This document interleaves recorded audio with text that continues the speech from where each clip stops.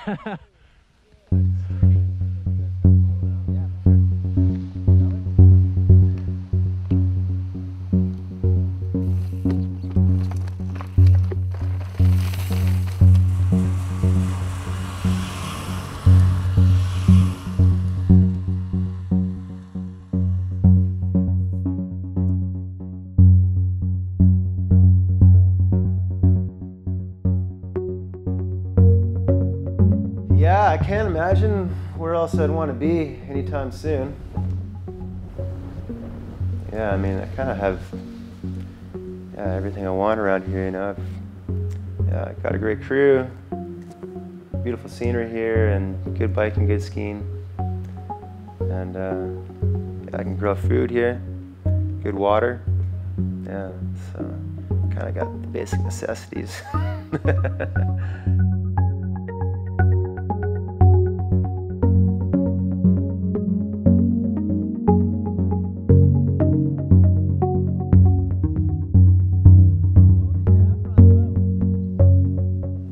was fortunate to grow up in Langley, just outside of Vancouver there, and uh, grew up skiing at Hemlock. So it was like, kind of grew up in the coast mountains. My family wasn't a skiing family at all. One of my dad's buddies, he had some kids. So he's like, yo, we're going up to Mount Washington for the weekend. You want to come up and come skiing with us? So we went up there, had a great time. And then that same family went to Silver Star the next year. So we just kind of got on this program of going on like this annual ski trip.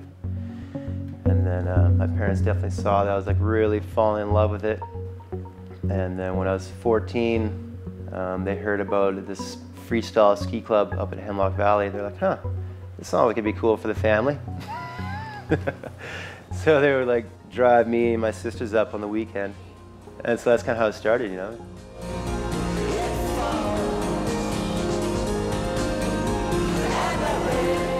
After high school, I got invited to come on the uh, provincial freestyle ski team.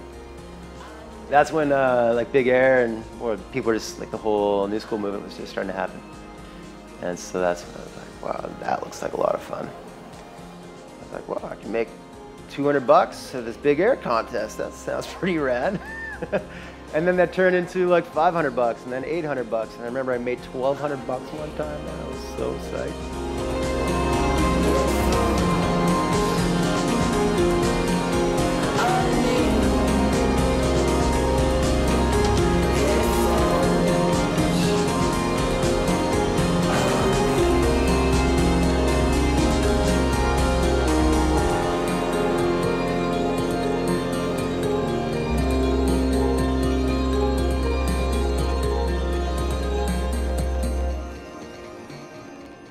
Yeah, we are in Pemberton, British Columbia, hanging out at my house.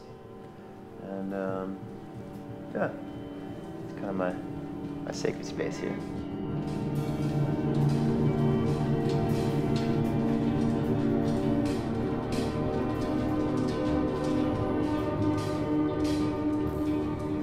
Definitely really fortunate just, you know, being a skier, having time off in the summertime grants me the opportunity to be able to, you know, learn how to do all this.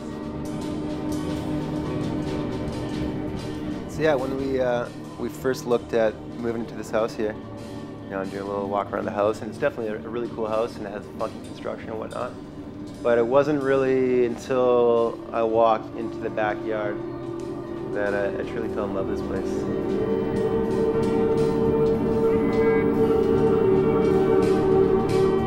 You know, as soon as I saw that, that river flowing back there, I knew right away that this is the place I want to be.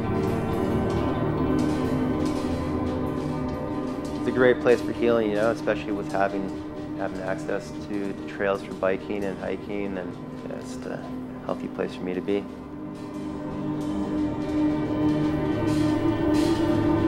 So, a number of years ago, uh, I read an article on hydrotherapy and just reading up on all the benefits from helping out with lactic acid to just helping out with blood flow in your heart, and just the list goes on and on and on. And so I was like, well, I want to be able to experience all those health benefits. It's like taking a double shot of espresso every time I hop in that cold water. Yeah, it's like such a good way to start the day. It just gives me a lot of energy. it, never gets easier hopping in the cold water. You know, it's like your body starts to get used to it, but your mind is like, it's always a challenge. Like, I always have to stare down for a minute. I'm like, are sure you want to do that this morning? Which is good, you know. It's like good just to have a little, little challenge for yourself every morning.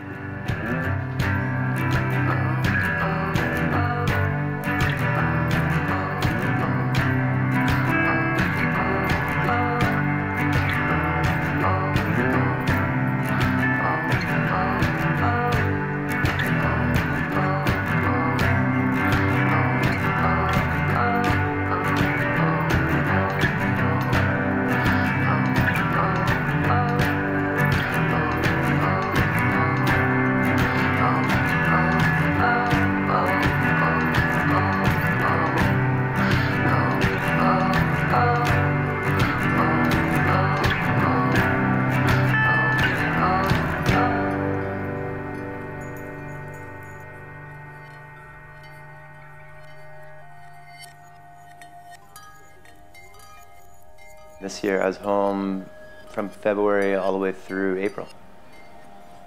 And uh, yeah, just like really fell in love with where I live all over again. Just, um, it's kind of reminded me of why I moved here initially. Like skiing around with Hoji and Rubens, we discovered all these pillow zones that I'd never been to before, so that was really cool and then started venturing north towards uh, like up and over the Hurley and yeah, just discovered all these spine lines that you can sled right to the top of. Yeah, my mind was kind of getting blown all over again. Just, there's still so much to explore. I've been sled skiing and skiing around here for just about 20 years, and I feel like I'm just scratching the surface.